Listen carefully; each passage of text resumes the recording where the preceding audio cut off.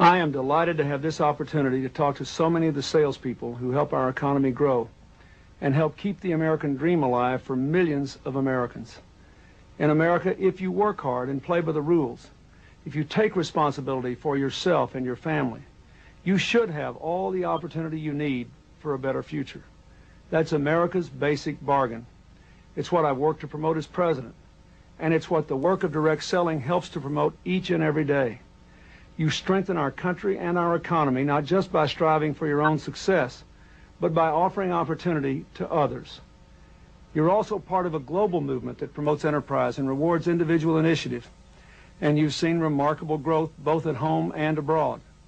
Last year, there were more than 7 million Americans in the direct sales industry. An average of 69,000 new distributors and salespeople join your industry every week. In addition to providing opportunity, you build our American community. Americans from every walk of life, every race, every creed are seizing the opportunities of direct sales. More than 300,000 of you are over the age of 65.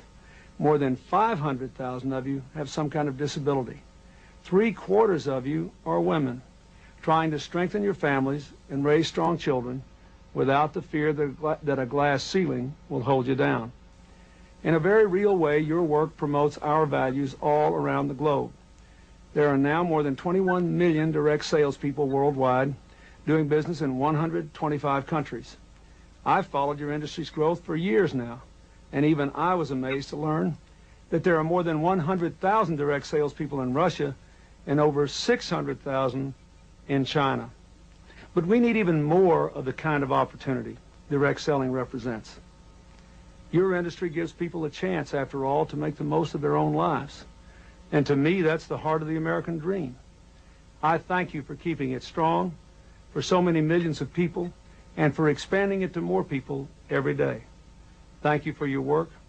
God bless you, and God bless America.